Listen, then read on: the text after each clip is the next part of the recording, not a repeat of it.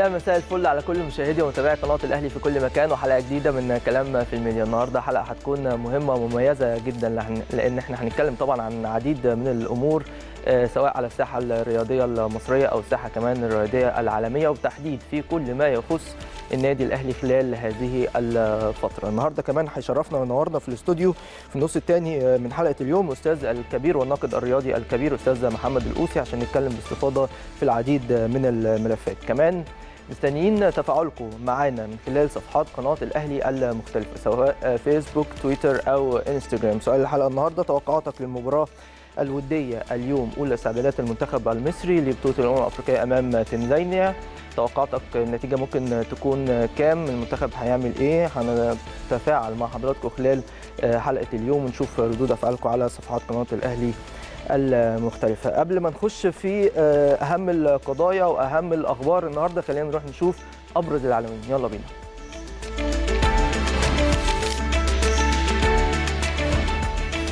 فرانس فوتبول تختار الخطيب وابو تريكة ضمن أفضل 30 لاعب في تاريخ إفريقيا.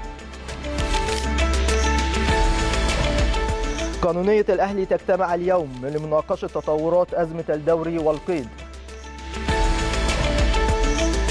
أحمد أكرم سباح الأهلي يفوز بذهبية بطولة كاليفورنيا. الليلة المنتخب يخوض وديته الأولى أمام تنزانيا استعدادا لكأس الأمم. منتخب الجزائر مهدد بالاستبعاد من أمم إفريقيا. الاتحاد الأفريقي ينظر التماس رفع الإيقاف عن جهاد جريشة غدا. الإعلان عن جدول الدوري الإنجليزي في الموسم الجديد.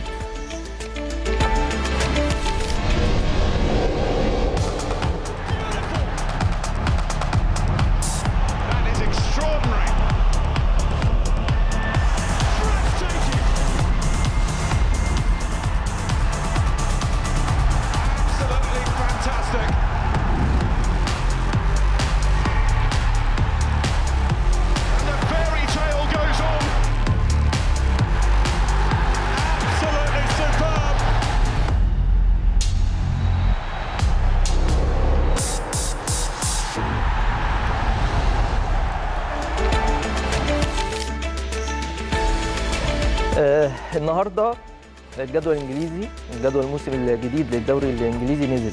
آه فعلا والله نزل. جدول الدوري الجديد آه لبطولة الدوري الانجليزي بالتحديد آه النهارده الصبح. والموسم كان لسه خلصان ما بقالوش شهر تقريبا. والموسم الجديد هيبتدي بالتحديد في شهر 8 الموسم الكروي بشكل عام هيبتدي إمتى؟ هيبتدي يوم 4 أغسطس. بأنهي مباراة؟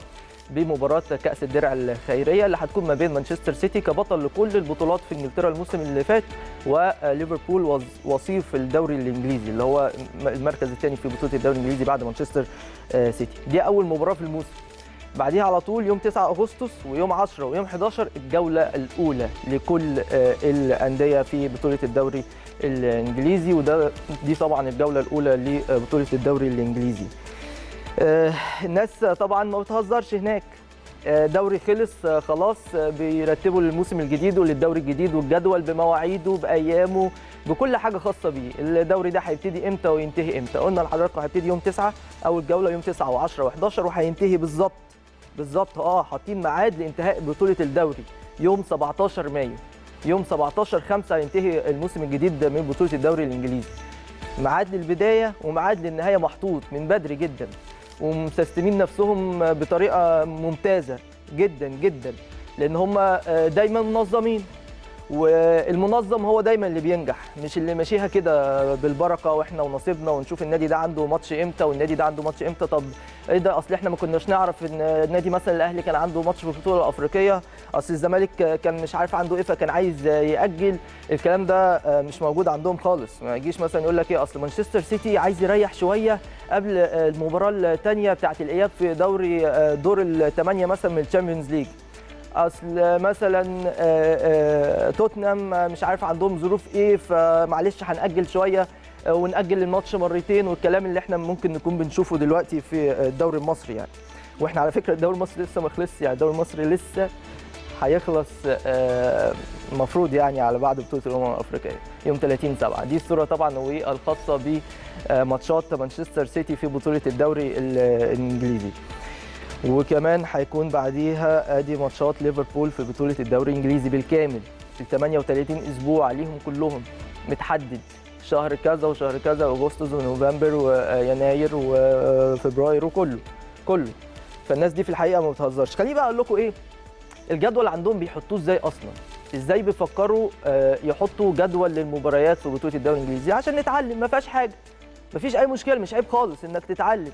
لازم إن أنت تحاول تطور من نفسك ولازم تتعلم في أي مهنة بشكل عام. فالاتحاد المصري لكرة القدم ولجنة المسابقات بالتحديد آه، يعني اتعلموا حاولوا إن أنتوا تشوفوا ال- الطريقة بتبقى إزاي بره. مش الدوري الإنجليزي بس كل الدوريات بس الأبرز طبعا الدوري الإنجليزي إن هو أقوى دوري في العالم وأكتر دوري منظم على مستوى آه، العالم. هم هناك إيه بقى؟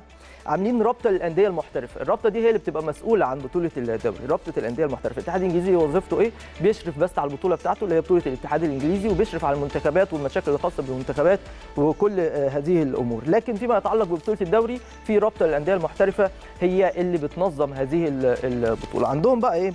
راجل كده اسمه آه، جيليان تومسون. ده زي كده الحاج عامر حسين عندنا الله يعينه. زيه بالظبط كده. ده الراجل ده خبرة كبيرة قوي وبيحط جداول البطولات بطولة الدوري الإنجليزي من سنة كام؟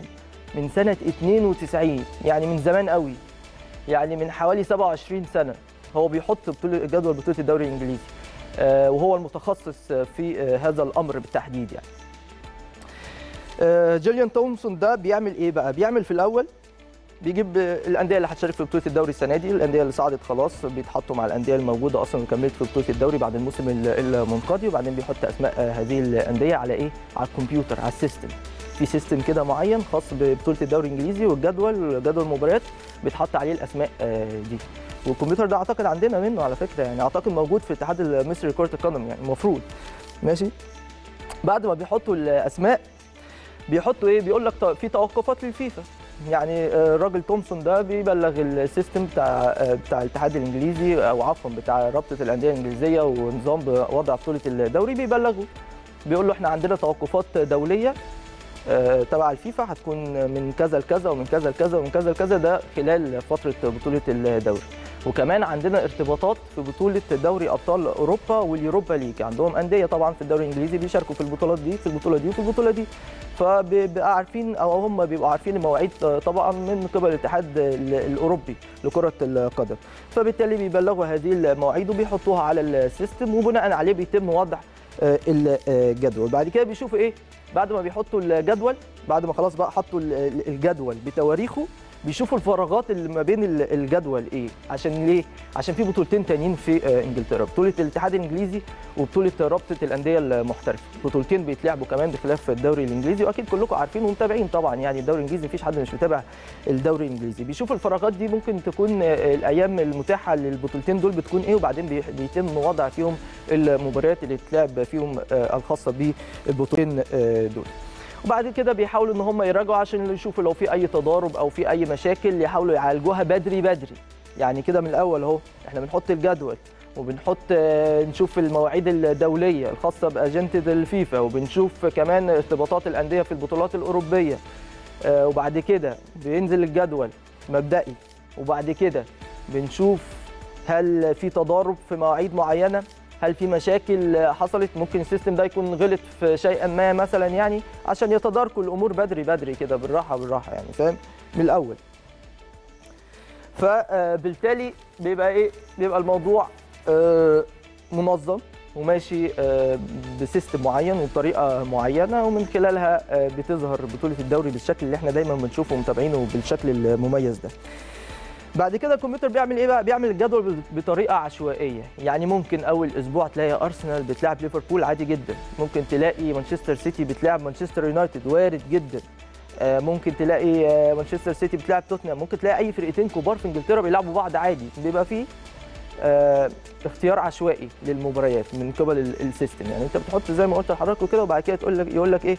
آه، أدي الجدول وأدي أول أسبوع المباراتين دول أو المباريات دي اللي هتبقى في أول الأسبوع والأسبوع الثاني وكذلك وكذلك وكذلك. بعدين لو في أي مشكلة معينة أو في آه، آه، تضارب مثلا في مواعيد معينة بيتم إبلاغ ال system بالتضارب ده. ويتم آه، طبعا التنسيق مع كل الأجهزة. بس قبل ما ننسق مع كل الأجهزة بيشوفوا التضارب ده هيكون ماشي إزاي. ولو عايزين يأجلوا مباراة ولا حاجة بيحاولوا إن هم يأجلوها. وده طبعا آه، بي- بيرتبط بجميع كل المباريات الأخرى حوالي 40 مباراة أخرى بتبقى عايز تنسق ما بينهم. لكن هم دايما بيبقوا عاملين حسابات لبداية ال- الدوري. عشان الدوري لما يبتدي كويس بيستمر كويس. لكن لو الدوري ما مشيش بداية بشكل جيد بيبقى عارفين إن هيبقى في مشاكل بعد كده وإحنا عندنا تجارب على طول عايشينها يعني في مصر هنا للأسف في الناحية الكروية بالتحديد آه، عدم انتظام في بطولة الدوري العام. آه، ولك أن تتخيل إن لحد دلوقتي بطولة الدوري ما خلصتش وبقى لنا سنة في بطولة يعني سنة كاملة سنة ميلادية كاملة في بطولة مش موسم كروي سنة ميلادية كاملة في بطولة لسه ما خلصتش. تمام؟ كمان بيعملوا إيه؟ بيقعدوا تخيل بقى بيقعدوا مع رابطة ال- المشجعين ممثلي رابطة المشجعين للأندية المختلفة رابطه المشجعين بشكل عام. يقعدوا معاهم يقولوا لهم لو في أي ملاحظات ليهم عادي جدا نشوف ملاحظاتك إيه وممكن نحاول نتناقش معاها كمان بيتواصلوا مع الأجهزة الأمنية بشكل مميز من البداية. من الأول تقول لي الدنيا آه، إحنا عندنا مباريات كذا لو عندك أي تعليق مثلا في الميعاد ده في حاجة معينة قول عليها عشان نلحق من دلوقتي نعدل هذه الأمور قبل ما نعتمد رسميا الجدول الجديد لبطولة الدوري. آه، كمان آه، بيحاولوا إن هم إيه ما يخلوش آه، مثلا فرقتين زي ليفربول وإيفرتون يلعبوا في نفس الأسبوع على ملعبهم. ليه؟ عشان ما يبقاش فيه تكدس مروري ما يبقى فيه ما يبقاش فيه تكدس جماهيري. لأن إحنا عارفين مثلا في آه، ليفربول وفي مدينة ليفربول الغريم التق- التقليدي ليهم في هذه المدينة هو إيفرتون. الملاعبين قريبين جدا من بعض بالمناسبة فبالتالي هم بيحاولوا إيه؟ وهم بيحطوا الجدول بيضعوا في الاعتبار إن الفرقتين دول مش عايزينهم يلعبوا في أسبوع واحد على أرضهم. يعني لو ليفربول بتلعب على أرضها مثلا النهارده يبقى آه، ايفرتون بتلعب في آه، ملعب تاني بتلعب قوي بتلعب ملعب بره مباراة آه، بره بالنسبة لهم ما تبقاش مباراتهم يعني مش على ملعبهم. ليه؟ عشان يتجنبوا أي مشاكل آه، مرورية أي تكدسات جماهيرية ممكن آه، تحصل. كمان آه، لما أخلص طب يا جماعة ناخد المداخلة. ده كمان آه، عندهم مشكلة آه، بيحاولوا يحلوا موضوع آه، الأزمات دي من خلال الجزئية اللي أنا قلت لحضراتكم عليها. كمان في قواعد مهمة قوي وهي إيه؟ إن أي فريق ما يبتديش أول مباراتين أول خمس مباريات يعني أي خمس مباريات لأي فريق في بطولة الدوري لازم يبقى عنده منهم ثلاثة أوي واثنين هوم أو العكس. يعني ثلاث مباريات يكونوا على ملعبك ومباراتين مثلا بره آه، ملعبك. ما, يبقاش مثلا في إيه إن أنت ممكن تلعب ثلاث أربع مباريات كلهم على ملعبك. وممكن تلعب ثلاث أربع مباريات مثلا خارج آه، ملعبك. وكمان آه، بيحاولوا إن هم مثلا إيه يخلوا في أسبوعين مثلا مانشستر سيتي هتلاعب مانشستر يونايتد. في الطبيعي جدا إن هيكون في المدينة دي مباراة واحدة ما بين الاثنين لكن في نفس الوقت زي ما قلت لكم المثال بتاع ليفربول وإيفرتون ما يكونش في نفس اليوم كل واحد عنده مباراة على حدة. يعني ما يكونش مثلا مانشستر يونايتد بيلعب مباراة مع توتنهام في مدينة مانشستر ما يكونش مانشستر سيتي بيلعب مباراة مثلا مع ليفربول في مدينة مانشستر برضو لا لازم الاثنين يكون في آه، آه، يعني مش نفس الميعاد ما بينهم في المباريات وفي نفس مش نفس التوقيت في آه، هذا اليوم يعني أمور كتيرة واعتبارات كتيرة في الحقيقة بيحطوها في المباريات عندك بقى جزئية تكافؤ الفرص بيفكروا فيها إزاي؟ إن آخر مباراتين لازم يتلعبوا في نفس التوقيت. آخر مباراتين في بطولة الدوري لازم يتلعبوا في نفس التوقيت. مش زي عندنا كده تلاقي إيه إن الجدول ال- آه، الأخير أو الجدول الجولة الأخيرة بالتحديد في بطولة الدوري بتتلعب وناس لعبت وخلصت. وبالتالي إيه تلاقي لسه في فرق ما خلصتش. زي ما إحنا شفنا لسه فرق ما خلصتش. لكن الجولة الأخيرة أو آخر جولتين بالتحديد مش الجولة الأخيرة كمان بس آخر جولتين في بطولة الدوري الإنجليزي بيتلعبوا في توقيت واحد. ما ما فيش هزار في الموضوع ده. ليه؟ عشان يقول لك جزئية تكافؤ الفرص ويقول لك موضوع إن ما ما حدش يعرف نتيجة الفريق الآخر آه، قبل آه، قبل ما حد يلعب مباراة لأن ممكن حد يكون بينافس على القمة والبعض بينافس على البقاء في بطولة الدوري. فعشان يكون في تكافؤ الفرص ودي جزئية اتكلمنا فيها مرارا وتكرارا بخصوص الدوري المصري بالتحديد. لكن يعني أمور آه، عكس كل اللي بيحصل في الدوري المصري كله اطلاقا يعني كله كله. بشكل مطلق. ما فيش أي تشابه ما بين الدوري الإنجليزي والدوري المصري خالص. لكن ممكن نتعلم يا ريت نتعلم. خلينا نتكلم بشكل آه، مفصل مع الناقد الرياضي الكبير الاستاذ هيثم نبيل والصحفي آه، موقع يلا كورة مدير موقع يلا كورة. يا أستاذ هيثم مساء الفل عليك. مساء الخير مساء الخير عليك وعلى جميع جماهير النادي الاهلي. أخبارك إيه؟ كله تمام؟ الحمد لله يا حبيبي الحمد لله كل سنه وانت طيب جميعا آه، خلينا آه، نتكلم. أكيد أنت تابعت وشفت آه، كمان آه، جدول الدوري الانجليزي نزل النهارده وخصوصا ميعاد بداية البطولة وميعاد انتهاء البطولة والأمور تبقى ماشية إزاي وكل هذه الكواليس والاستعداد للموسم الجديد وعاملين اعتبارات حتى ال- ال Boxing Day وال Christmas أعياد الكريسماس وكل حاجة. تعليقك إيه ال- التشابه؟ بشكل سخري شوية ما بين الدوري الإنجليزي والدوري المصري. لا هو أنا اصل أصل أنا شخصيا ليا تجربة صعبة جدا مع مع الدوري الإنجليزي تحديدا يعني. آه. من أيام لما كنت اديتور بقى في يلا كورة. فالكلام ده تقريبا من مثلا حوالي 12 سنة مثلا أو 10 سنين. آه، فكنت في مرة كده بشوف على زي الوقت ده كده. فكنت بتشيك كده على الدوري الإنجليزي فبعت لهم جواب رسمي. مم. أقول لهم أنا عايز الجدول الجدول بتاع الدوري الإنجليزي اللي هيبدأ الشهر الجاي زي الأيام دي كده. فبعتوا لي بعتوا لي الجدول آه وسألوا لي سؤال صعب جدا. في الآخر قالوا لي أنت محتاج الجدول ده ولا محتاج بتاع السنة الجاية كمان؟ امم فأنا ما فهمتش طبعا يعني ما فهمتش هم بي- بيتكلموا في إيه بالظبط. مم. قلت لهم لا أنا عايز ده. يعني يعني هاتوا لي الجدول بتاع الأيام دي اللي هو هيتلاقي الأسبوع الجاي. فبعتوا لي الجدول زي ما هو نازل كده دلوقتي. يعني ده من 10 سنين أو 12 سنة بيعملوا نفس الكلام ده. آه، بنفس المنظر بنفس المواعيد بنفس التوقفات بنفس الارتباطات بتاعت الأندية. خلي بالك إن هم في إنجلترا تقريبا بيلعبوا خمس بطولات غير الدوري دوري أوروبا وال وال Europa League تقريبا يعني. غير ارتباطات المنتخب. طيب يعني آه، أستاذ هيثم نصيحتك للاتحاد المصري لكرة القدم عشان يتفادى كل المشاكل اللي بتحصل خلال الموسم ده وإن هو إيه المشكلة لما يتعلم من الدوري الإنجليزي وال system بيبقى ماشي إزاي وضع الجداول بيبقى ماشي إزاي؟ يعني حابب توجه كلمة تقول لهم إيه؟ أصل إحنا مش هنخترع العجله.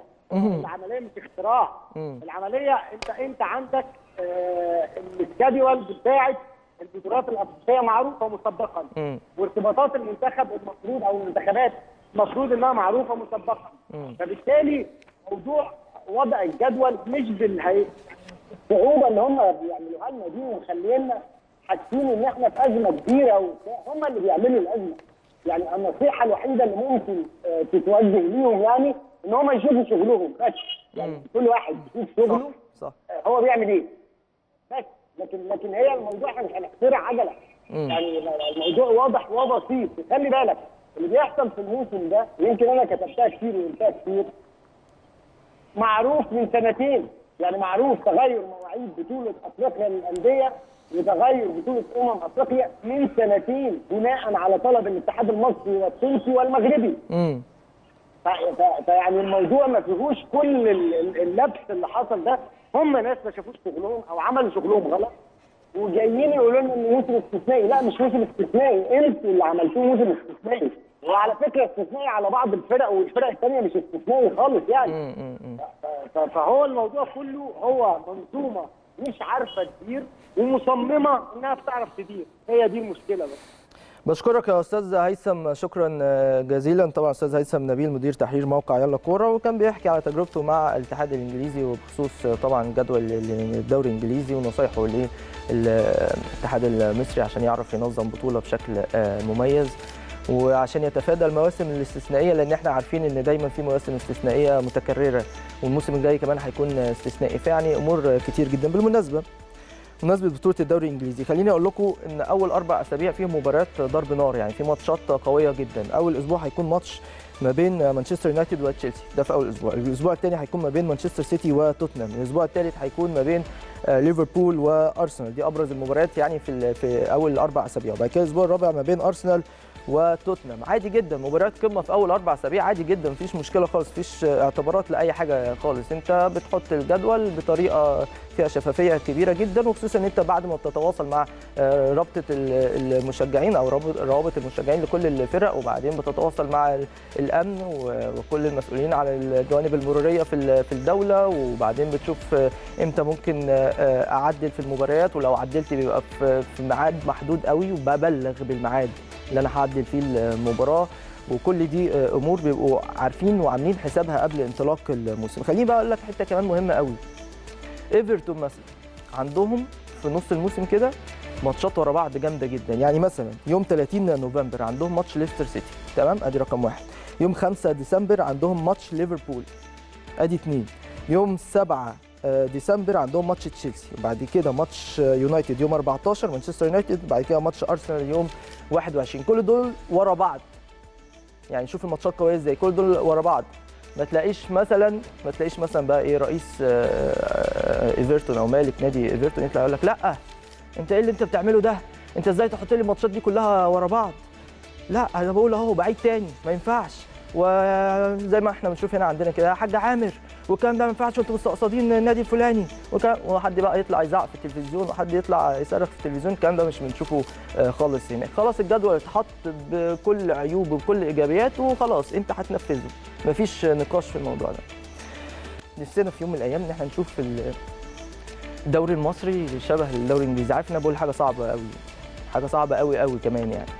لكن هنحاول وخلينا نحلم وخلينا نحاول مع الاتحاد المصري لكرة القدم ونخليهم إن هم يحاولوا آه، يتعلموا من الدوريات الأخرى وبالتحديد الدوري الإنجليزي هيبقى عندنا مسابقة محترمة ليه؟ لأن أنت أصلا فنيا على فكرة الدوري الإنجليزي فنيا عالي جدا طبعا ليه؟ لأن في انتظام في المسابقة ليه؟ لأن في ملاعب مميزة جدا فنيا على فكرة برضو عندنا في مصر هنا لاعبين مميزين جدا لكن ما عندكش بنية تحتية مناسبة والحمد لله هم بيعدلوها عشان بطولة الأمم الأفريقية وإن شاء الله تظهر بالشكل المميز.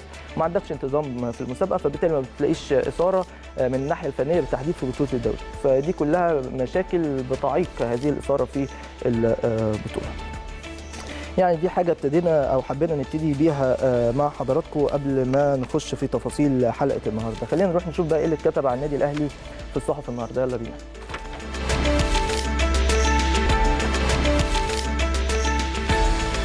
مجلة الأهلي اللجنة القانونية بالنادي تبحث الموقف بعد قرار مركز التسوية.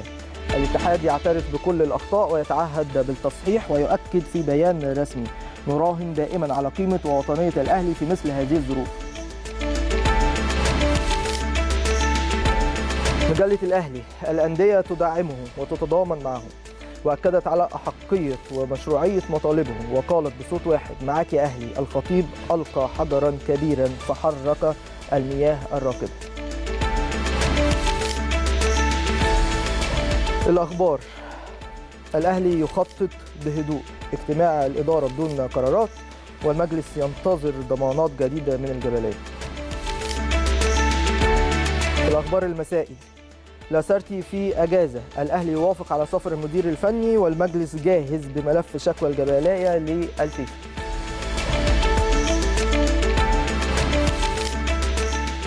المسا الأهلي يتراجع عن شراء رمضان صبحي. النادي الإنجليزي بالغ في طلباته. المالية. لانتقال اللاعب الشؤون القانونية تدرس مستجدات أزمة الدوري مع الجبليه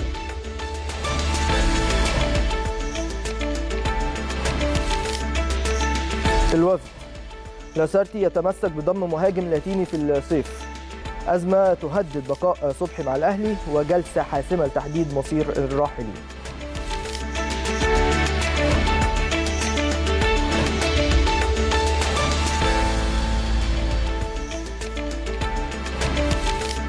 أوكي أخبار كتير مهمة آه، جدا بخصوص النادي الأهلي. خلينا نبتدي بمجلة النادي واللي قالت إن اللجنة القانونية بالنادي بتبحث الموقف بعد قرار مركز التسوية والتحكيم. وزي ما حضراتكم كلكم عارفين إن امبارح خرج قرار مركز التسوية والتحكيم اللي لجأ ليه آه، النادي الأهلي وهو تحديد خاص باللجنة الأولمبية.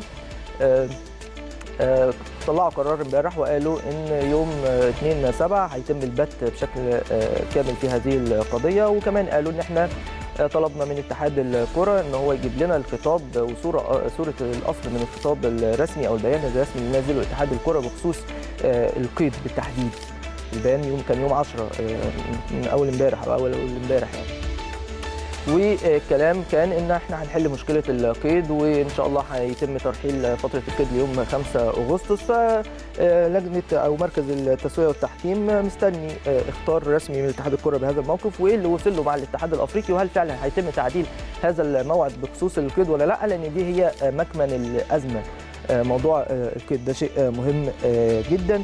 فبالتالي بالتالي النادي الأهلي كان معتمد إن الرد يكون سريع من لجنة التسوية والتحكيم أو مركز التسوية والتحكيم آه، ليه؟ لأن يوم 30 يونيو طبقا للي أعلنوا واللي ارسله الاتحاد الأفريقي الاتحاد المصري هو هيكون آخر آه، يوم آه، وآخر ميعاد تقول فيه الأندية اللي هتشارك في البطولات الأفريقية بشكل عام. فبالتالي أنت حددت ميعاد الجلسه آه، يوم 2 7 فهيكون خلاص الميعاد ده عدى. فبالتالي اللجنة القانونية بالنادي الأهلي تجتمع عشان تشوف هتعمل إيه. وده اللي كان من مجلة النادي الأهلي. برضو آه، خلينا نروح لخبر آخر وهو خاص بجريدة الأخبار واللي بتقول النادي الأهلي بيخطط في هدوء قصدهم إيه بيخطط في هدوء؟ النادي الأهلي بيفكر في المرحلة اللي جاية آه، بخصوص فريق آه، كرة القدم. عارفين النادي الأهلي عمل آه، لجنة للتخطيط آه، برئاسة طبعا الشيخ طه إسماعيل ومعاه عضوية كل من كابتن زكريا ناصر وكابتن خالد بيبو وبيخططوا آه، بشكل كامل بالتنسيق مع الجهاز الفني والتنسيق مع كابتن محمود الخطيب آه، بخصوص المرحلة المقبله بالنسبة للنادي الأهلي. كمان الأخبار تطرقت لإجتماع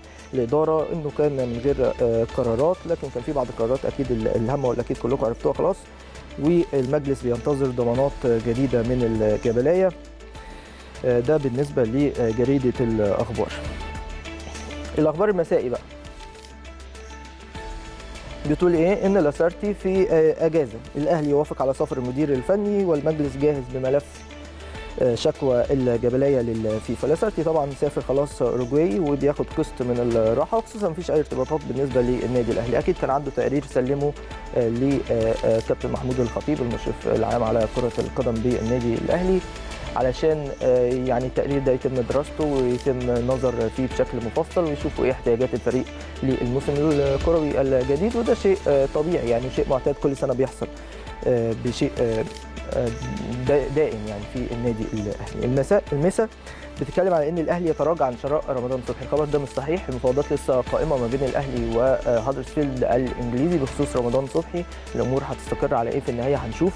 وهنعرف لكن رمضان صبحي من ضمن أولويات النادي الأهلي في التعاقد معاه سواء بشكل دائم أو على سبيل الإعارة. المفاوضات يمكن ممكن تكون صعبة شوية وده شيء طبيعي لأن رمضان صبحي لعيب كبير جدا ونادي هدرسفيلد متمسك بيه. وفي نفس الوقت يعني زي ما سمعنا كده من نادر شوقي وكيل اللاعب إن في خيار الإعارة طرحه نادي هدرسفيلد على النادي الأهلي إن ممكن الإعارة تبقى سنة كمان. وفي نفس الوقت ممكن يكون رمضان جاي له بعض العروض من ال Premier League الدوري الممتاز. آه، هدرسفيلد خلاص نزل درجة ثانية في ال Championship فبالتالي دي كلها أمور هيتم دراستها من كل الجوانب سواء النادي الأهلي رمضان صبحي نادي هدرسفيلد لكن المفاوضات لسه آه، جارية بكل آه، تأكيد. آه، الوفد بتتكلم على إن لاسارتي بيتمسك بضم مهاجم لاتيني في الصيف.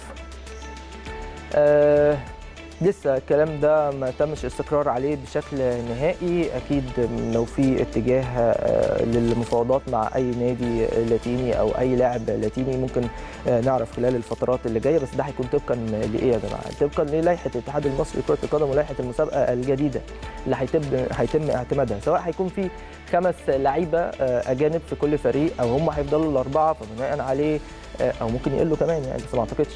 بناء عليه هيتم التفكير بقى. هل نقدر نجيب لعيب أجنبي آه، خامس؟ لو اللوائح بتسمح في الموسم الجديد. هل إحنا ممكن نبدل لعيب أجنبي من اللي عندنا بلعيب آخر جديد يكون أكثر إفادة؟ دي كلها أمور متروكة للجهاز الفني ومستر لاسارتي آه، بالتحديد. وأكيد هيكون في اتجاه لحسم آه، تحديد مصير الراحلين. وده شيء أكيد مهم. والنادي الأهلي واضع لنفسه آه، قائمه معينة بطلبات التعاقدات بالنسبة له خلال المرحلة اللي جاية وكمان عارف مين ممكن ما يكونش محتاجه الفترة الجاية فممكن يسوقه أو ممكن كمان يخرجه على سبيل الإعارة. ودي كلها آه، أمور بيفكر فيها الجهاز الفني بشكل جيد جدا وبتركيز كبير جدا لمصلحة النادي الأهلي ومصلحة الفريق. وإحنا عارفين إن إحنا عندنا بطولات كتير السنة الجاية إن شاء الله من ضمنها آه، انتهاء بطولة الدوري ده النادي الأهلي استمر يعني مش عارف والله القرار ممكن يكون إيه لسه مش عارفين. وعندك بقى بطولة الدوري الجديدة وعندك كأس مصر القديم والجديد وعندك السوبر القديم والجديد وعندك بطولة دوري أبطال أفريقيا. آه والله فعلا زي ما بقول لكم كده عندك بطولة دوري أبطال أفريقيا كمان جديدة وإيه تاني؟ يعني تقريبا دول بس. ماشي؟ فالنادي الأهلي بيستعد لكل هذه البطولات إن شاء الله في الموسم الجديد. خلينا نروح نشوف إيه اللي اتكتب عن النادي الأهلي على المواقع. يلا بينا.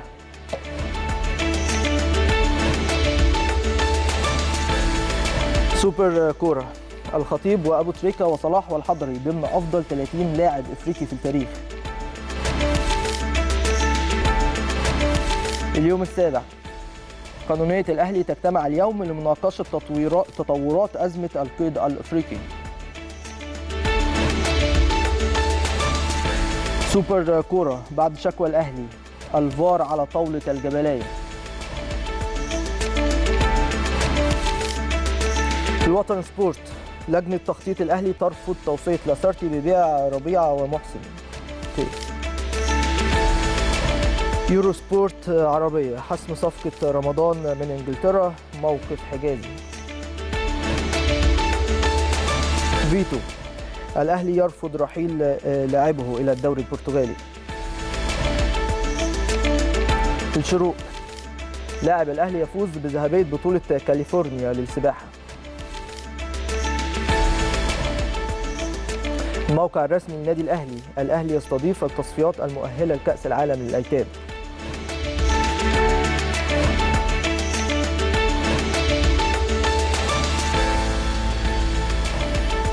سوبر كورة واخدة طبعا خبر مجلة الفرانس فوتبول واللي قالت طبعا القائمه الخاصة ب 30 لاعب كأفضل لاعبي قارة أفريقيا على مدار التاريخ. منهم مين؟ منهم أربعة مصريين كابتن محمود الخطيب ومحمد أبو تريكة ومحمد صلاح وعصام الحضري. دول الأربعة المصريين المتواجدين في قائمه أحسن 30 لاعب في تاريخ القارة الأفريقية اللي أعلنها أو أعلنتها مجله فرانس فوتبول. رقم 11 عصام الحضري. دي حاجة كويسة جدا. أول 10 مفيش فيهم مصريين خالص.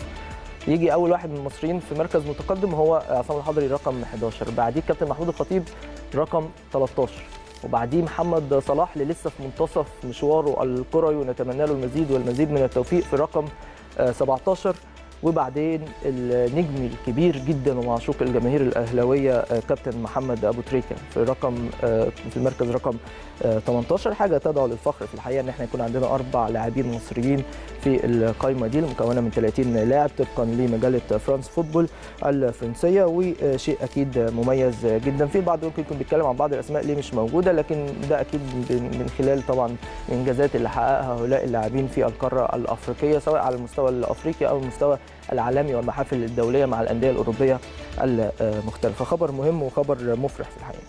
اليوم السابع بتعلق على جزئية أو قانونية الأهلي اللي هي اللجنة القانونية بالنادي الأهلي هتجتمع اليوم لمناقشة تطورات أزمة القيد الأفريقي وده اللي اتكلمنا فيه مع حضراتكم. وده طبقا طبعا للقرار الصادر من لجنة التسوية والتحكيم بتأجيل البت في هذه أو في هذا الملف. اليوم 2 7 فبالتالي اللجنة القانونية بالنادي الأهلي هتشوف إيه الخطوة الجاية اللي هي هتعملها من خلال اجتماع اليوم. سوبر كورة بعد شكوى الأهلي للفار.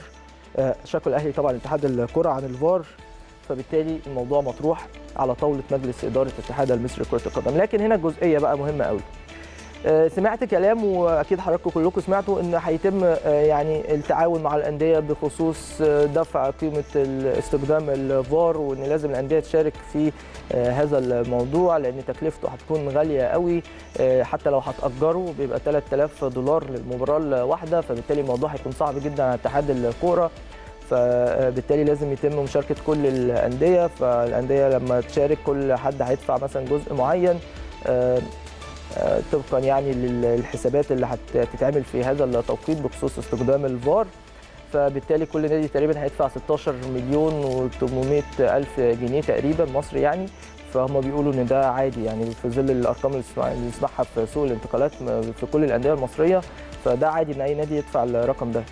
بس هو اللي مش عادي بصراحة إن الأندية أصلا تشارك في استخدام تقنية الفار يعني. المفروض الاتحاد المصري هو اللي بيكون مكلف ومسؤول بشكل تام على استخدام واستخدام هذه التقنية في بطولة الدوري. حاجة غريبة جدا ما أعرفش الأندية هيكون موقفها إيه بس شيء غير منطقي بصراحة يعني. هنشوف الأيام الجاية الأمور هتمشي إزاي. الوطن سبورت بتقول لجنة التخطيط بالأهلي بترفض توصيه لاسارتي ببيع رامي ربيعة وصلاح محسن. الكلام ده لسه سابق لأوانه بشكل كبير جدا. رامي ربيعة نجم كبير جدا من نجوم النادي الأهلي وعاد من الإصابة وشارك في بعض الدقائق بشكل مميز ومن الركائز الأساسية في خط الدفاع. فصعب شوية إن رامي يكون بره النادي الأهلي وفي الآخر برضه يعني عشان أبقى صريح معاكم القرار خاص بالجهاز الفني وخاص بمستر لاسارتي هم اللي هيقرروا آه، هل رامي ربيعة هيكمل ولا لأ؟ ونفس الحال بالنسبة لصلاح محسن الوطن بتقول برضه إن صلاح محسن آه، من ضمن الأسماء اللي حطها مستر لاسارتي إن هو مش محتاجهم خلال الفترة الجاية. يعني كلها أمور آه، هتتحسم خلال الاستعدادات النادي الأهلي للموسم الجديد وخلال الاجتماعات سواء مع لجنة التخطيط بالنادي الأهلي أو حتى آه، مع آه، آه، مدير الكرة والجهاز الفني وكل المسؤولين عن الكرة في النادي الأهلي ورئيس النادي طبعا كابتن محمود الخطيب. يورو سبورت عربية بتتكلم على موضوع رمضان صبحي وإن حسم الصفقة ممكن يكون من خلال سفر أمير توفيق مدير إدارة التعاقدات بالنادي الأهلي لإنجلترا عشان يحاول يحسم هذا الملف مع آه، نادي هادرسفيلد الإنجليزي. آه، وزي ما قلت لحضراتكم لسه رمضان صبحي الموضوع بتاعه في الصورة لكن لسه الأمور صعبة شوية وهيتم آه، يعني حل آه، مشكلة رمضان صبحي إن شاء الله قريبا سواء ينضم النادي الأهلي على سبيل الإعارة أو حتى كبيع نهائي كلاعب دائم في النادي الأهلي بعقد آه، جديد. موقف أحمد حجازي آه، أنا بقول لكم موقف أحمد حجازي من خلال التواصل آه، مع اللاعب إن هو الاتجاه الأول بالنسبة له هو الاستمرار في آه، إنجلترا. وصعب شوية إن هو آه، يرجع مصر. في حالة إن الأمور يعني ما مشيتش زي ما هو عايز في إنجلترا ممكن أكيد الموضوع هيكون مطروح بالنسبة لاحمد حجازي إن هو يكون منضم ومتواجد في النادي الأهلي. لكن الأولوية عنده استمرار في تجربته الاحترافية وبالتحديد هو بيحاول إن هو يشوف آه، أو يجي له عرض. وسمعنا إن في عروض جت لأحمد حجازي من الدوري الإنجليزي الممتاز ال Premier League فبناء عليها هيشوف أحمد حجازي هيحدد مصيره بشكل آه، نهائي. آه، طيب يعني دي كانت أبرز الأخبار الخاصة بالنادي الأهلي في المواقع. إيه اللي اتكتب بقى في الأخبار المحلية والعالمية وكمان أخبار محترفين في الخارج؟ خلينا نروح نشوف. يلا.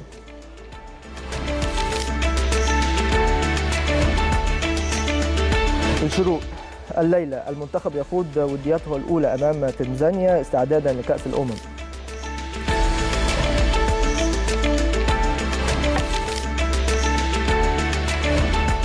البوابة سبورت. وزير الرياضة يشهد لقاء مصر وتنزانيا بملعب برج العرب. الفجر الرياضي. مفاجآت بالجملة في تشكيل منتخب مصر المتوقع أمام تنزانيا. اليوم السابع.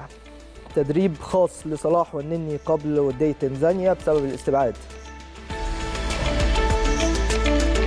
الوطن سبورت. رسالة دعم من ويست بروميتش إلى حجازي قبل بروفة تنزانيا كل الأمنيات الطيبة. فيتو. علي غزال يكشف استعدادات المنتخب لكأس الأمم الأفريقية. صدى البلد مفاجأة آه، مدوية. منتخب الجزائر مهدد بالاستبعاد من أمم أفريقيا.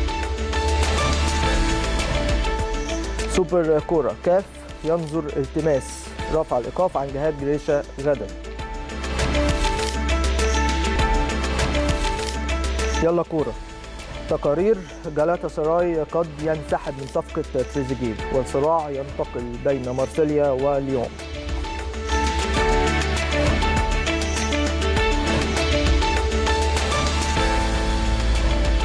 طيب آه، خلينا سريعا نروح للناقد الرياضي باليوم السابع أستاذ محمد مراد عشان يكلمنا عن آه، كواليس آه، المنتخب واستعداداته للمباراة الودية اليوم.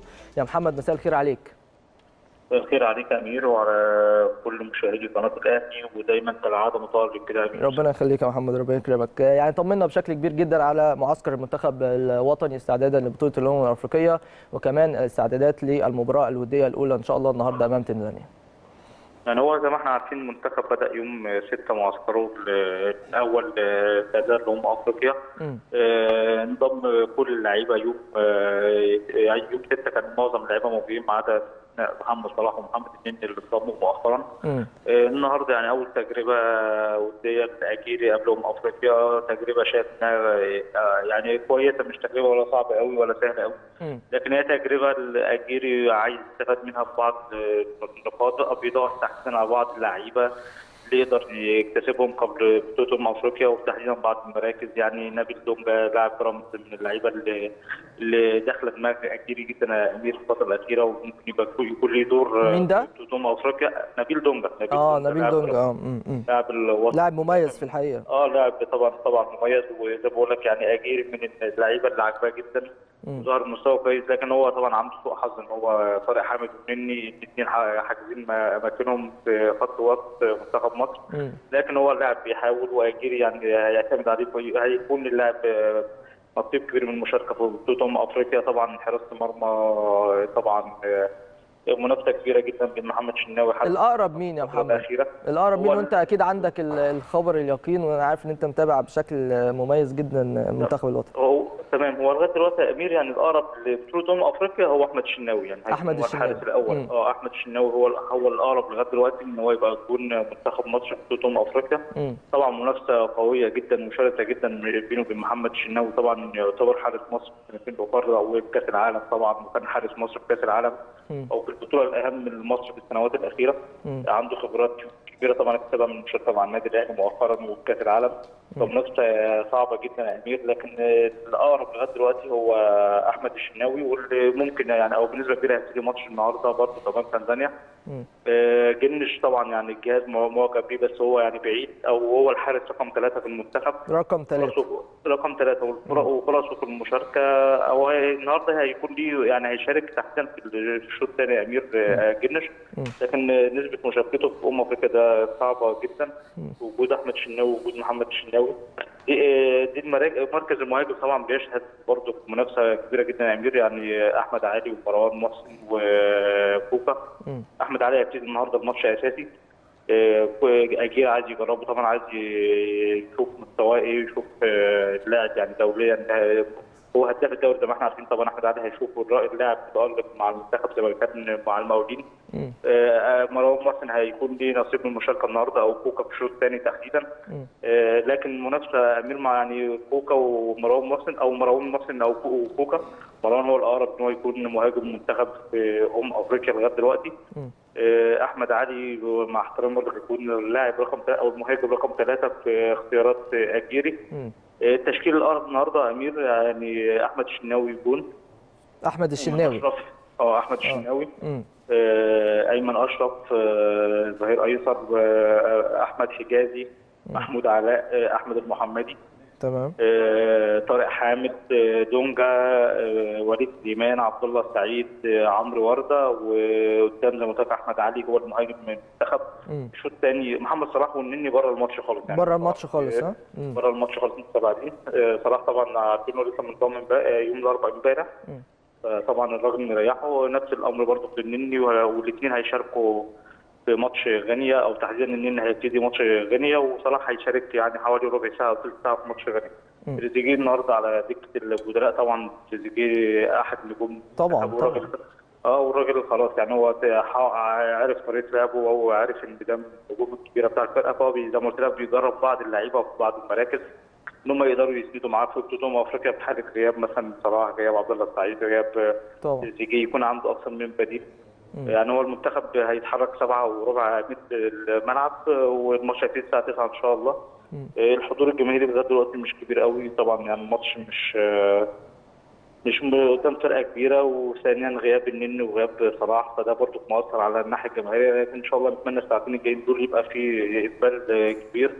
آه، وكالعادة يعني زي ما متعودين في اسكندرية تحديدا إن بيبقى في غياب جماهيري بيستعينوا ببعض مدارس الكورة في في الأندية اللي قريبة من آه، برج العرب بيحضروا فيها الماتشات.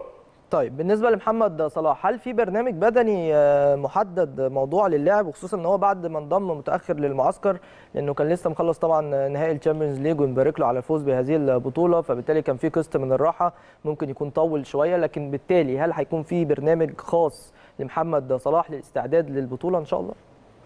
بص يا أمير هو محمد من النوع يعني اللي عارف بيعمل إيه وده اللي بيميزه عن أي لعيب. كويس. يعني هو اللي أنا يعني أنا عارفه معلومات مؤكدة إن صلاح كان بيخوض بعض التدريبات حتى في الإجازة. يعني الراجل بيبقى حاطط لنفسه برنامج أو بيستعين بالمدرب الأحمال بتاع ليفربول وكان حاطط له برنامج كان بي- بي- بيخوضه وهو في الإجازة طبعا محطوط له برنامج إعدادي معين في مع المنتخب. حتى امبارح يعني ما خش التدريب كله حوالي نص ساعة جري تدريبات معاهم وبعد كده تدريبات إطالة وجلسات علاج طبيعي بعد التمرين. آه، محطوط له برنامج طبعا لكن صلاح يعني مش زي الناس اللي بيقولوا صلاح إزاي يقعد 10 أيام من غير ما إزاي هو الراجل بيحافظ على نفسه وعارف بيعمل إيه. شفنا النهارده ساديو ماني لسه منضم لمنتخب بلاده.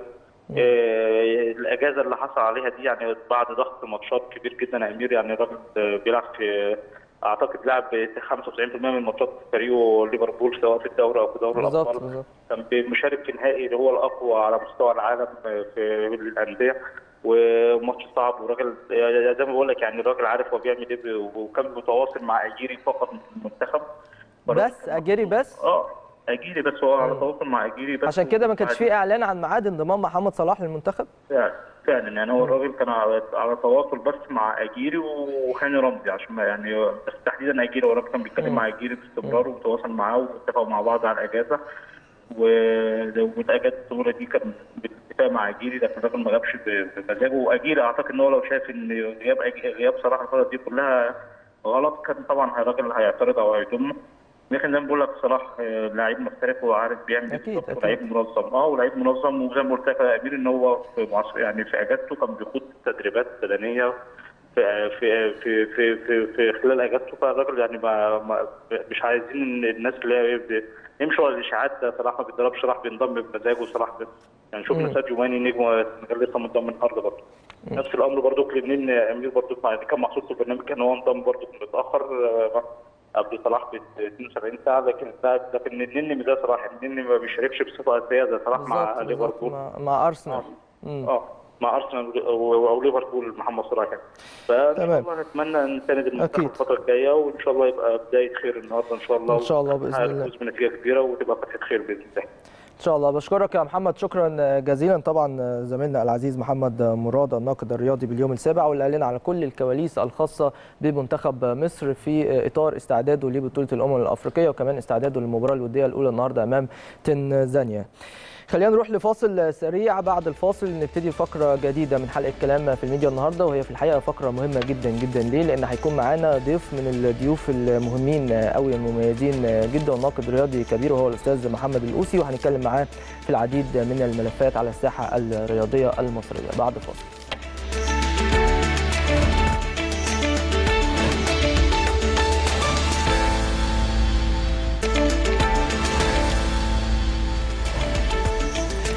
رجعنا لكم مرة تانية بينورني وشرفني في الاستوديو الناقد الرياضي الكبير أستاذ محمد الأوسي. يا أستاذ محمد منورنا ومشرفنا.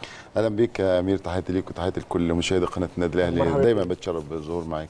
وعلى شاشه قناه الاهلي دايما. شرف لينا طبعا أستاذ أوسي. يعني عايزين نتكلم في البداية عن الملف الشائك المعروف على الساحة الرياضية المصرية. وهو خاص بالمشكلة بتاعة النادي الأهلي واتحاد الكرة ومباريات الدوري وميعاد انتهاء البطولة. واللجوء لمركز التسوية والتحكيم وقرار بالأمس كل هذه الأمور أكيد حضرتك متابعها عن قرب. رأيك في هذا المشهد؟ يعني يمكن المشهد ده اتكلمنا فيه كتير وما زال الحديث فيه موصولا ومستمرا بقوة ما زال الأهلي يواصل خطواته رغم آه، آه، ما حدث في الفترة الأخيرة وبين اتحاد الكرة. لكن الذي نخرج به من المشهد أن النادي الأهلي آه، آه، آه، الكل اعترف بحقه الكل اعترف بموقفه الشرعي. الكل اعترف بوطنيته وإن الاهلي لا يزايد ولا يحاول استغلال أي شيء آه، للتاثير على حدث مهم جاي في مصر الأهلي بالظبط. أول من يقف مع مصر أول من يقف مع كأس الأمم الأفريقية وأول من يدعمها هو طيله عمر الأهلي دايما بيدعم الأشياء الوطنية والحاجات لأن الأهلي النادي الوطنيه الحقيقي و... ونبت من شجرة الوطنية كما أكدنا مرارا وتكرارا من قبل على هذا الأمر.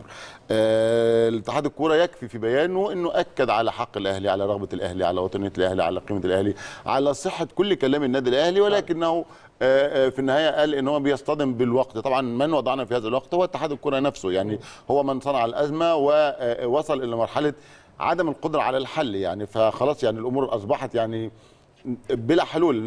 لابد أن تلعب المباريات المتوقعة الأربع مباريات وحاجة ما بتحصلش في الكون ولا في أي بطولة في العالم.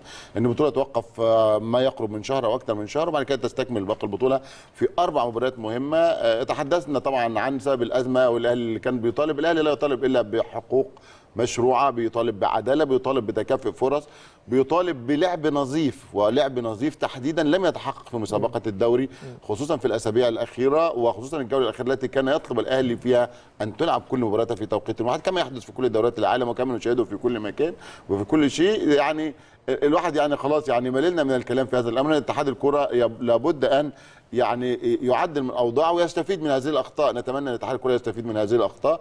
و... وهيستفيد فعلا من و... هو إحنا السنوات اللي عدت ما استفدناش من أي أخطاء. يعني دايما بتكون في أخطاء وبنتكلم عنها والعالم كله بيتحرك وإحنا ب... ب- ما ما بنغيرش وبنسقط في نفس الفخ وبنسقط في نفس الخطأ. وطبعا من يسقط في الفخ مرتين ده يعني أعتقد يعني صعب جدا الواحد يقول عليه تشبيه آه، آه، آه، موجود في قناة لا قيمتها بحجم. قناة قيمة النادي الأهلي. آه، المفروض نتعلم ونشوف ده يمكن. الأزمة كلها حول الجدول الدوري وترتيب جدول الدوري كان بامكان اتحاد الكرة أن ينهي المسابقة قبل آه، انطلاق آه، كأس الأمم الأفريقية. يعني إحنا عارفين الحدث ده من أربع شهور كان يقدر يظبط أموره ويظبط أوضاعه وينهي المسابقة لا سيما وإن التلاعب في الجدول يحدث مرارا وتكرارا. يعني اسبوعيا بيحدث وشهريا بيحدث اسبوعيا ويوميا وفي الساعة نفسها حتى قبل الماتشات بيتم تغيير ال- ال- المسابقة لأن مفيش حاجة محددة ومعلومة. يعني إحنا بصعوبة شديدة جدا. قدرنا نعرف الأربع مباريات هتلعبوا إمتى بعد كأس الأمم الأفريقية بعد ما الأهلي تدخل وصرخ والدنيا آه، حصل فيها أزمة كبيرة جدا. بنشوف النهارده إزاي الاتحاد الإنجليزي وأعتقد ده هيكون ليه. كلام كبير جدا. بنشوف النهارده الاتحاد الإنجليزي بيصدر جدوله النهارده وإحنا في شهر يونيو متى ستنطلق المسابقة ومتى ستنتهي وما هي مواعيد مباريات كل فريق. أدينا لو مسكنا أي ورقة دلوقتي وعايز تعرف أي ماتش لأي فريق في أي شهر في أي توقيت سهل جدا إنك تعرف ده. بمنتهى السهولة آه، آه، يعني لو ما كناش قادرين نعمل ده يا ريت نقلده يا ريت نقلده طب إحنا ما بنعرفش نقلد كمان؟ ما هو واضح إن إحنا مش عارفين نقلد أصلا يعني. آه، ال- ال- ال- الاتحاد الإنجليزي لما وضع جدول وضع فيه كل الحسابات وكل الاعتبارات وكل المعوقات اللي هتقابله من دلوقتي لغاية آخر ماتش في البطولة. من أول ماتش هتلعب على أرضك لاخر ماتش هتلعب بره أرضك أو العكس. كل حاجة واضحة ومحددة من الماتشات اللي هتتلعب في دوري الأبطال الفرق اللي بتتلعب أو في الدوري الأوروبي أو في عندك تصفيات كأس الأمم الأوروبية أو تصفيات كأس العالم أو الدوري الأوروبي. كل ده معمول حسابه. كل ده واضح ومحدد في الدنيا. وأعتقد الأمور واضحة جدا برضه بالنسبة لنا إحنا آه، كمصريين. واضحة آه، في دوري الأبطال السنة الجاية هيبدأ إمتى؟ وهينتهي إمتى؟ والكونفدرالية والتصفيات ال- الافريقيه والتصفيات العربية والارتباطات الدولية للمنتخب ده كله واضح. المفروض نضع جدول واضح ومحدد لهذا الأمر. طيب خلينا نروح لفاصل سريع. بعد الفاصل نرجع نواصل هذا الحوار الشائق مع أستاذ محمد الأوسي الناقد الرياضي الكبير. بعد الفاصل.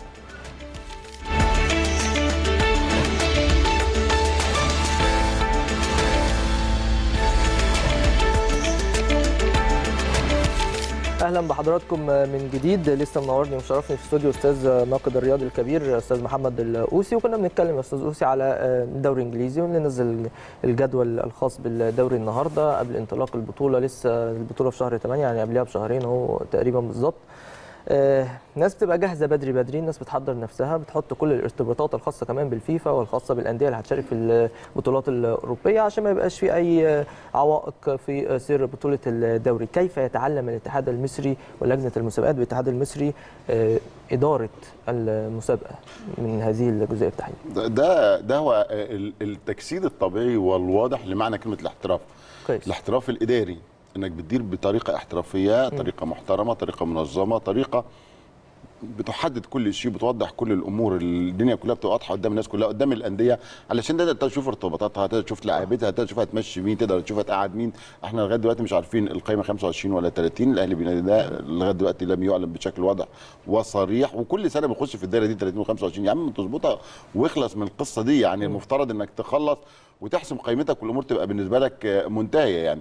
الدورة آه، آه، الدوري الإنجليزي بتديره رابطة آه، محترفة رابطة الأندية اللي بتديره نتمنى إن آه، ده يكون في الدوري المصري والنادي الأهلي طلب بده وكل الأندية الكبيرة والمحترمة تطالب بده. آه، رابطة تدير الأندية مع و... الاتجاه ده حضرتك. مع الاتجاه آه ده طبعا لازم لأن دي هتراعي مصالح الأندية.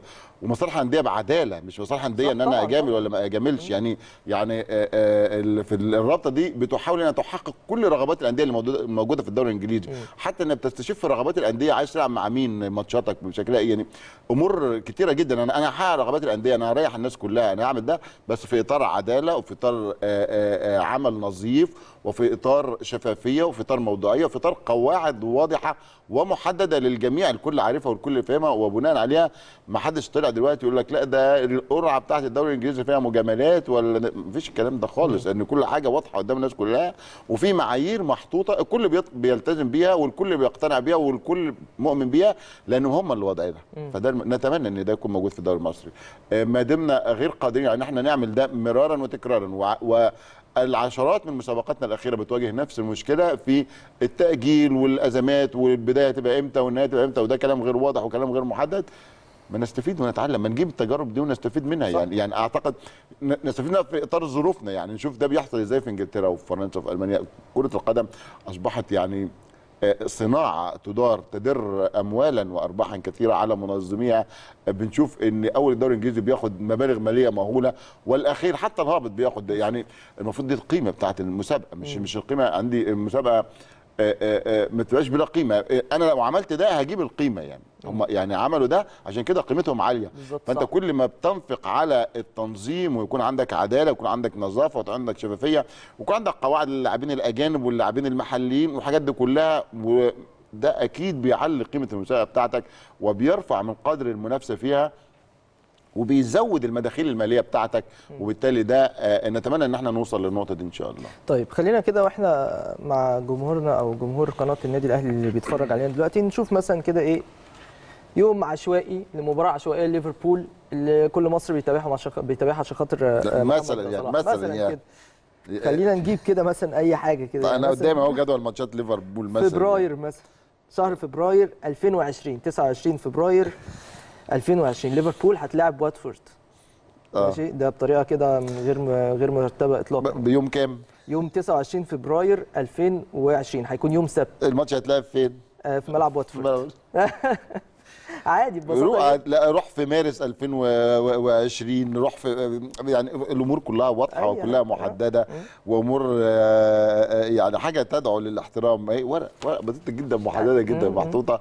وأعتقد إن إحنا نقدر نعمل الورق دي يقدر النادي الأهلي يعرف ماتشاته من شهر سبعة لغاية شهر سبعة اللي جاي في 20 هيلعب مع مين ولا هيروح مع مين؟ أعتقد الكلام واضح ده جدول ده. جدول مباريات ده ليفربول. جدول مباريات مثلا ليفربول آه، آه، آه، يعني إحنا النظام. بنح... نح... بنحلم إن إحنا نبقى كده بنطمع نبقى كده ونقدر نعمل نبقى كده بقليل من النظام وقليل من ابعد المجاملات ابعد المحاباة. ما تبصش لألوان ما تجاملش لا أهلي ولا زمالك ولا إسماعيلي ولا مصري ولا اتحاد ولا, ولا أي نادي في مصر تجامله على حساب النظام وعلى حساب قواعد اللعب النظيف. اعمل حاجة وكله هيخضع للنظام وكله هيحترم هذا الجدول وكله هيقدره لأن طالع قدام الدنيا كلها. أنا لو عايز أحجز مباراة لليفربول مثلا في شهر آه، آه، آه، مارس اللي جاي يوم 14 مع إيفرتون.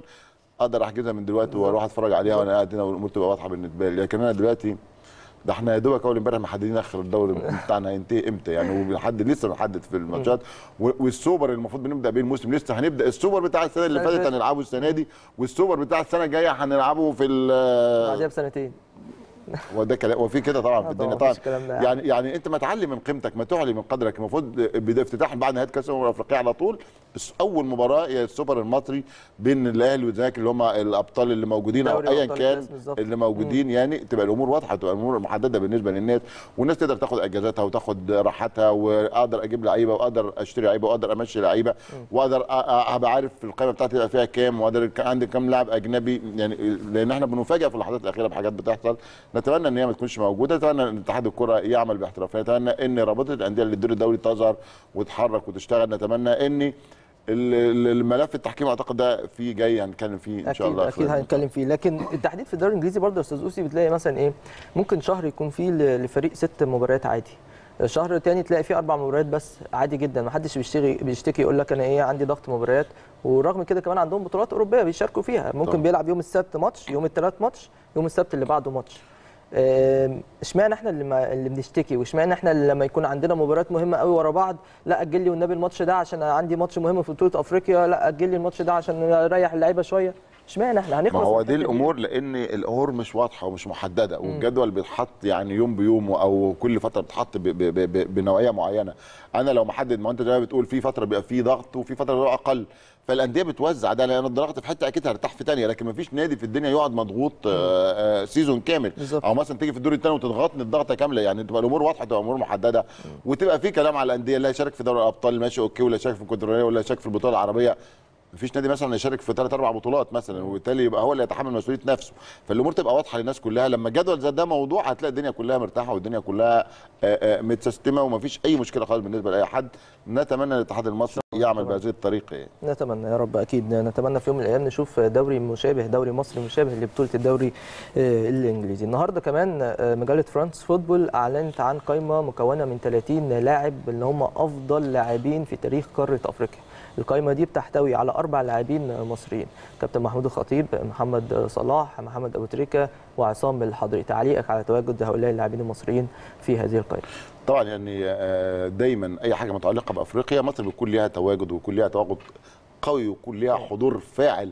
آه لما قايمة بتضم آه 30 لاعب من عبر تاريخ أفريقيا اللي فيها 52 دولة عندك أربع لاعبين ضمن ال 30 دول منهم لاعب اعتزل منذ أكثر من 30 عاما من 1988 كابتن محمود الخطيب. واحد من علامات الكرة المصرية ويعني يأتي في مركز ال 13 المركز الثاني كلاعب مصري كابتن عصام الحضري وهو آه، حارس مرمى الأهلي السابق هو المركز الأول يعني كترتيب المصريين عصام الحضري عصام الحضري 11 مركز 11 آه وبعد كده كابتن محمود الخطيب 13 وبعد كده آه، محمد صلاح 17 محمد صلاح وبعد كده محمد 18. ابو تريكة. طبعا و آه، آه، فخر كبير للنادي الأهلي إن نجومه آه،. يتصدرون آه، آه، آه، هذا المشهد الأفريقي ال- ال- ال- الرائع. آه، طبعا كابتن محمود الخطيب آه، آه، لو اتكلمت عنه أفريقيا واحد من أبرز المواهب في تاريخ الكرة الأفريقية وتاريخ الكرة العالمية لو كان موجودا الآن كان له مكانة مختلفة آه، آه، اللاعب حصل على 10 بطولات دوري مصري خمسة آه، كأس مصر حصل على اثنين دوري الأبطال سنة 82 و87 حصل على كأس الكؤوس الأفريقية 84 85 86 أفضل لاعب في أفريقيا. حصل على أفضل لاعب في أفريقيا 82. ما زال حتى الآن منذ 30 عاما يحمل الرقم القياسي للاعبين المصريين المسجلين في أهداف في دوري في في البطولات الأفريقية 37 هدفا رغم اعتزاله من أكثر من 30 عاما 38 هدف أعتقد بس سبقوا كمان دلوقتي موبوتو لاعب مازيمبي عدى كابتن أنا بتكلم على عندك هنا حتى في مصر هنا لم يكسر آه، الرقم حتى الآن آه، يعني آه. واخد بالك.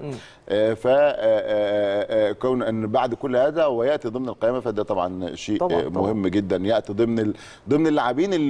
اللي, اللي أتيحت لهم فرصة الاحتراف أعتقد لو كان أتيحت لهم فرصة يمكن آه، جورج وايا آه، آه، اللي هو رئيس ليبيريا حاليا هو رقم واحد. رقم واحد موجود وده آه، لأنه آه، احترف وجاي بعد الخطيب بأجيال كتيرة جدا. وفاز كمان وفاز بجائزة أحسن أحسن لاعب في العالم يعني. ف- 95. ف- ف- فطبعا ده طبيعي يعني. لكن آه، فطبعا شيء مهم جدا ان النادي الأهلي يدخل بهذا الرقم وده وده دليل على قيمة النادي الأهلي وقدر النادي الأهلي. ودايما النادي الأهلي هو رافع راية الرياضه المصرية والكرة المصرية ومشرف الكرة المصرية. لأن في النهاية بيقال إن ثلاثة لاعبين مصريين أو أربع لاعبين مصريين موجودين في القائمه لما نتكلم على حد بحجم أبو تريكة له إنجازات وله بصمات عظيمة في الكرة المصرية سواء مع النادي الأهلي في البطولات القارية أو البطولات المحلية أو مع منتخب مصر بالبطولات اللي شارك فيها. نتكلم عن محمد صلاح وهو واحد في المرحلة الحالية واحد من أعظم لاعبي الكرة المصرية. طبعاً. آه، حاجة بيعمل تاريخ غير مسبوق للاعب الكرة المصرية آه، سواء على مستوى الاحتراف.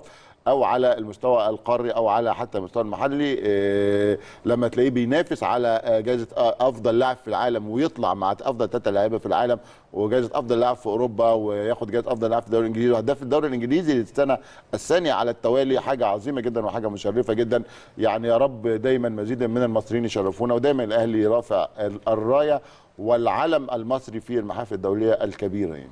طيب بخلاف آه، هذه الجزئية بالتحديد عايز أتكلم عن موضوع الفار وده كنت عايز أتكلم فيه مع ال- السؤال الثاني من حلقة اليوم. وبالتحديد قصة الفار ومطالبة النادي الأهلي وكلام من ده وبالتالي شفنا اتحاد الكرة هيعرض الملف ده في اجتماع المجلس بتاعه رغم إن هم كانوا أعلنوا قبل كده قالوا إن الفار هيتم تطبيقه من يوم 1 1 هذا ال- هذا هذا العام وبالتالي لم يتم تطبيقه آه، اطلاقا. والفكرة كمان اللي بتطلع واللي بنسمعها الفترة دي إن هيتم اللجوء للأندية للمشاركة والمساهمة في استخدام هذه التقنية. هل ده شيء منطقي من وجهة نظرك؟ آه، يمكن مطالبة بالفار بدأت في مصر تقريبا وكان النادي الأهلي من أول الناس اللي طالبوا بيها آه، خصوصا بعد ما آه، كان في بعض الأخطاء التحكيمية الفجة اللي وقعت في مسابقة الدوري وقدم ده بطلب رسمي آه، لاتحاد الكورة يعني لكن اتحاد الكورة آه، لم يتحرك في هذا الوقت لإنجاز هذا الملف يعني. وعاد الأهلي مجددا يطلب هذا آه، من اتحاد الكورة. والحمد لله بدأوا يقتنعوا. ويمكن حتى بيان اتحاد الكره الأخير تضمن آه، آه، فتح هذا الملف. وإن اتحاد الكره سيبذل قصارى جهده وسيسعى إلى تطبيق الفار. يمكن النهارده وخبر واكيد أنت تناولته آه، في آه، مطلع أخبارك إن آه، آه، لجنة الحكام بقيادة الكابتن عصام عبد الفتاح بدأت تتحرك بقوة في هذا الملف سواء آه، بعمل آه، ال- الفار ده بشكل آه، خاص أو استئجاره آه، من بره. آه، ويتحدث عن التكلفة التي قد يعني تصل إلى 17 مليون جنيه وهو رقم عادي جدا بالنسبة لل- للي أنت بتنفقه على التحكيم. أنت أنفقت على 25 طاقم أو أقل من 25 أنفقت ما يقرب من 10 ملايين جنيه أساسا يعني فلما تجيب ده اولا ده هيعطي الفرصة للحكام المصريين إن هم يديروا المباريات مش هتجيب حكام أجانب تبقى الأمور بالنسبة لك محسومة. لو في أي جدل وفي أي مشكلة تقدر ترجع وتحل. أعتقد إن تطبيق تقنية الفار مهمه جدا في الدوري المصري في الموسم المقبل. حتى نتجنب الأخطاء اللي الكثيرين بيشكوا منها والأزمات عشان تبقى الأمور كلها. وده نوع من أنواع الشفافية. أنت عايز خد فار و- وخش وارجع. ولو في أزمة الناس تشوف لأن الحكم بياخد قراره في في فيمتو ثانية. يعني في أقل في جزء أقل من الثانية. إحنا أحيانا في بعض الألعاب بنقعد نعيد فيها مرة واثنين وثلاثه وعشرة. أنا أنت شخصيا على ما تقدر تاخد قرار. لا دي دي حصلت. دي فيها ضربة جزاء. دي ما فيهاش. ده جون ده مش جون. ده offside ده مش offside.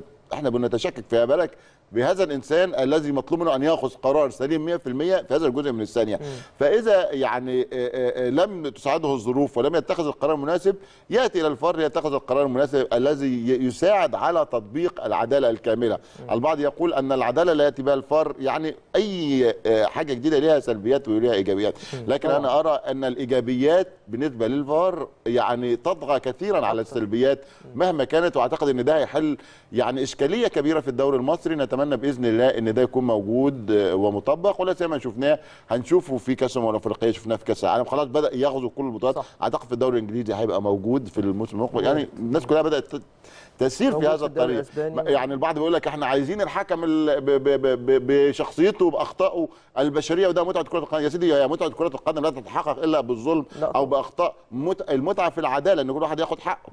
وفي أوقات كثيره جدا الفار منح حقوقا ضائعة وفي بطولات كبيرة جدا بتحتاج إلى تواجد الفار علشان نقدر نحسم قرارات مهمة ومصيرية وحاسمة في اتجاه تحديد بطل أو توجيه بطولة بشكل معين فمهم جدا إن إحنا نهتم بهذا الأمر. هل ده ممكن يقلل من استخدام الحكام الأجانب في مصر وبالتحديد في المباريات العادية؟ إحنا السنة دي بنشوف كل أسبوع تقريبا في حكم أجنبي في الدوري المصري لكن هيبقى مباريات الأهلي والزمالك مثلا بحكام أجانب حتى لو جبت الفار. لكن ممكن ده يقلل شوية من استخدام الحكام الأجانب والكم الهائل اللي شفناه هذا الموسم. تمام أعتقد إن ده ممكن ينهي مسألة الحكام الأجانب اللي يجوا يحكموا ولا يتبقى كما كنا من قبل سواء مباريات الأهلي والزمالك تدار بحكام اجانب وبالفار برضه موجود زي ما بتقول.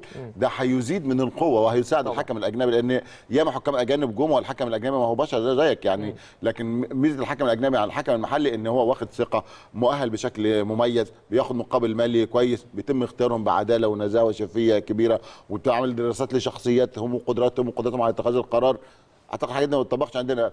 فأنا بعمل الحاجات دي وب... وفي نفس الوقت بقوي الحكم بتاعي. يعني علشان ما ألجأش للفار كتير. يعني م. يعني في أوقات كتيرة آه، جدا إن آه، مش معقول هجيب حكم ضعيف أقول له خلاص بقى اعتمد كل خمس دقايق هطلع أروح للفار. يعني الفار ممكن يساعدني في لعبة اثنين ثلاثة المصارحه لهم الجدل الكبير جدا يعني. فأعتقد إن ده سيقلل من استخدام أطقم أجنبية. آه، فمهم جدا إن إحنا نستفيد بهذا يعني. أكيد. ده شيء مهم. الملف الأهم بقى النهارده هو خاص بمنتخب مصر. ومشاركته في بطولة الأمم الأفريقية بطولة على أرضنا وسط جماهيرنا فبالتالي بطولة مهمة جدا والمطلب الأساسي أصبح هو الفوز بهذا اللقب بالنسبة للشعب المصري. شايف الاستعدادات بدايه بداية للمنتخب المصري لهذه البطولة إزاي؟ وهل أنت متفائل إن المنتخب إن شاء الله يفوز بيها ولا لا؟ بداية بطولة على أرضنا يجب أن تكون الكأس لنا. دي أرضنا وكأسنا فإن شاء الله دايما آه، آه، هناخدها. ويمكن إحنا آخر بطولة نظمناها يعني ربنا أكرمنا وحققنا هذا وحققنا الكأس خارج أرضنا ودايما مصر هي آه، آه، فريق آه، في صدارة المرشحين لكأس الأمم الأفريقية. دائما مصر مرشح للوصول للأدوار النهائية. شفنا مصر ابتعدت ثلاث دقائق وعادت. 3 3 1 ده من تويتر نروح لفيسبوك. محمد أن- أنشن ماشي أوكي. قال فوز منتخب مصر 3 3 0 علي آه، قال فوز منتخب مصر إن شاء الله آه، يكسب. آه، عمر لطفي قال فوز مصر 3 0 يا أمير والاهلي فوق الجميع. حميد محمود قال فوز مصر 3-0 يعني واضح إن في تفاؤل بمنتخب مصر يا أستاذ أوسي رغم إن ممكن كأن يبقى الفترة اللي فاتت وده كلام خلاص أغلقناه بخصوص قائمة المنتخب. ناس كتير انتقدت القائمة لكن إحنا دلوقتي في وقت إن إحنا لازم نساند كل اللاعبين المتواجدين في الفترة الحالية إن شاء الله عشان المنتخب يحقق الهدف المرجو هو الفوز باللقب. آه، يمكن موضوع القايمة ده آه، ناس كتير اتكلمت عليه وأنا من وجهة نظري إن آه، إن إحنا مش إحنا اللي بندرب المنتخب ومش إحنا اللي هنلعب بلعبه المنتخب مش إحنا اللي بنفكر بالشكل اللي هيلعب بيه المنتخب لأن في جهاز فني هو اللي بيدير ده. آه أنا شايف إن اللاعب ده يستحق شايف إن إن السين صاد ضاد عين الف دول مجموعة من اللعيبة يستحقون الانضمام لمنتخب مصر وهم فعلا لعيبة قوية ولاعيبه مميزين وقد يكون بالفعل إن في لعيبة مميزة بره أفضل من بعض اللعيبة موجودة في بعض المراكز يعني. آه، لكن آه، آه، المدير الفني للمنتخب شايف إن هو عايز ده عشان هيلعب بشكل معين هيلعب بطريقة معينة يلعب بتكتيك معين فهو اللي في النهاية اللي هو اللي هيتحاسب هو اللي هيتحمل مسؤوليه يعني أعتقد إن هو ما فيش مدرب في الدنيا آه، ودي من وجهة نظري وأعتقد وجهة نظر آه، تتفق معي فيها آه، إن ما فيش مدرب هيبقى شايف عنده ورقة تقدر تكسبه ويسيبها. بالظبط طبعا طبعا أكيد. يعني مستحيل يعني مستحيل إن يعني يعني هل يعني هو هل محمد صلاح مثلا ممكن نستغنى عنه؟ لا شايف إن ده طبعا. يعني فرخة تبيض لها ذهبا فهيبقى موجود معاه علشان ده ال- فاي مدرب في الدنيا حتى لو ما كان بيكره هذا اللاعب أو بينه وبينه مشكلة أو بينه وبينه أزمة آه، أعتقد ان هو هيجيبه وهيلعبه يعني. وشفنا ده مع مدربين أجانب كتير بره مصر وجوه مصر شفنا ال- الموضوع ده كتير. فأعتقد إن إحنا لابد أن ندعم المدير الفني بمنتهى القوة وأعتقد إن هو إن شاء الله يحقق امالنا ويحقق طموحاتنا والمنتخب بإذن الله هيسير في الطريق الجيد والطريق المنضبط وإحنا دايما في البطولات المجمعة منتخبنا آه، دايما آه، بيكون تركيز لعبتنا كتير جدا. وساعات إن إحنا دايما في البطولات دي أو في الأشكال ال- ال- هذه من اللعب في المجموعات بنكون آه، مركزين أقوياء بيكون لنا هدف بنسعى لتحقيقه بنمشي خطوة خطوة بنحقق هدف هدف حتى نصل إلى الهدف الأخير اللي كله بيسعى ليه إن شاء الله يعني. بمناسبة القوائم وبتحديد منتخب تونس استبعد علي معلول هل هي مفاجأة بالنسبة لك زي ما هي مفاجأة أكيد لكل طبعاً. المتابعين يعني طبعا مفاجأة بالنسبة لي إن علي معلول واحد من أفضل اللعيبة آه، آه، في تونس وهم يعلمون ذلك ويعني حتى طبقا للحاجات والتسريبات اللي جاية من الإعلام التونسي إن علي معلول استبعد لأسباب يعني آه، غير واضحة وغير معلومة وأسباب آه، مش منطقية آه، لا تصب في مصلحة المنتخب التونسي وكثير من الإعلاميين التونسيين طلبوا بأن علي يكون موجود واعتبروا أن غيابه خسارة كبيرة للمنتخب. وشفنا علي يعني دوره بيبقى مميز جدا وكبير جدا مع المنتخب التونسي لأنه في بعض الأحيان بيلعب بطريقة وشكل مختلف كمان عن الطريقة اللي بيلعب بيها النادي الأهلي بتكون أدواره الهجومية أكثر كثيرا من أدواره الدفاعية. آه، شايف إن هو الحقيقة يعني ظلم آه، في هذا الأمر وإن منتخب تونس خسر أو فقد لاعبا مهما كان يجب أن يكون معه في البطولة. آه، طبعا علي الكلام كان بالنسبة له أشبه بالصدمة. لكن في النهاية استقبل الأمر بشكل عادي جدا. لكن الجميل هو آه، موقف الجمهور النادي الأهلي موقف النادي الأهلي. جمهور النادي الأهلي تحديدا يعني يعني أعطى علي معنويات يعني لم يكن يتخيلها حتى أنه علق النهارده على ال- الكلام ده وقال إن ممكن أنت كلاعب كرة تعمل فلوس كتير آه، تعمل تاريخ كتير لكن ممكن ما يكونش عندك جمهور بحجم وقيمه جماهير النادي الأهلي اللي بتدعمك في كل مكان. يعني جمهور النادي الأهلي الحقيقة دي حاجة عظيمة جدا. وقفوا مع علي آه، وقفه كبيرة جدا على مواقع التواصل الاجتماعي. شفنا ده بشكل واضح وشكل كبير.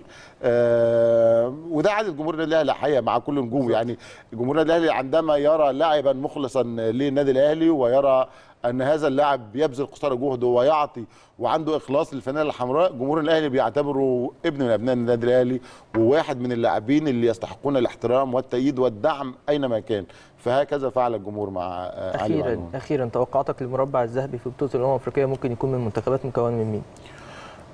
يعني أنا أنا هتوقع لك مجموعة منتخبات يعني ما تقدرش تتوقع الأربعة لأن في قوة كتيرة جدا أوكي. يعني يعني آه، رقم واحد أكيد منتخب مصر إن شاء الله بإذن الله، هيكون موجود في رب. المربع الذهبي آه، أتمنى أن المنتخب المغربي يكون موجود في المربع الذهبي ومن القوى ال- القوى ال- الكروية اللي موجودة بشكل آه، قوي جدا.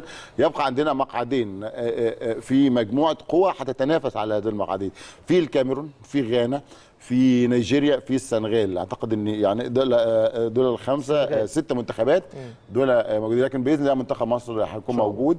آه، منتخب المغرب يعني يا رب ما يقعش في طريقنا لأن في لعبة كده في المراكز لو إحنا أول وهو ثالث مجموعته والطاوله التانيين حاجة كده ممكن يقع في طريقنا. ده إذا حصل يعني. لكن بإذن الله ممكن يطلع أول وإحنا أول ونكمل في الطريق لغاية ما آه، آه، نوصل بإذن الله. شاء الله. كل التوفيق لمنتخب مصر والمنتخبات العربية تونس والجزائر والمغرب يعني إن شاء الله. أستاذ أوسي أنا اتمتعت جدا بتواجد حضرتك معنا النهارده. حبيبي يا أمير ربنا يخليك. شكراً اللي جزيلاً. بالتواجد معاك. دايما شرف لينا يا أستاذ شكراً. اوسي شكرا شكراً. جزيلا. دي كانت حلقتنا النهارده من كلام في الميديا. استنونا يوم السبت القادم إن شاء الله في نفس التوقيت. الساعة السادسة مساء وحلقة جديدة من نفس البرنامج إن شاء الله. إلى اللقاء.